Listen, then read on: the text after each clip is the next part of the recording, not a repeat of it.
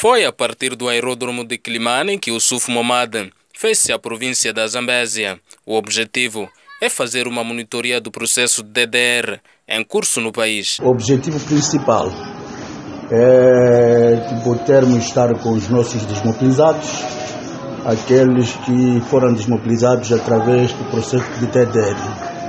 Queremos saber como é que encaram a vida civil e quais são as dificuldades e os progressos que eles estão tendo neste momento.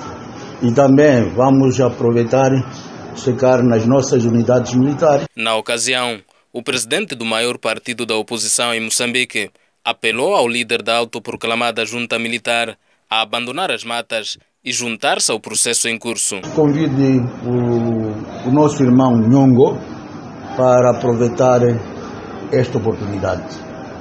Ele não pode continuar no mato enquanto nós estamos a desmobilizar as nossas forças. Matar não é, o, não é um bom caminho, mas que nós queremos é que ele atere esse processo para que amanhã ele possa estar na vida civil junto à sua família. No total, serão desmobilizados 1.400 membros das forças residuais da RENAM na Zambésia.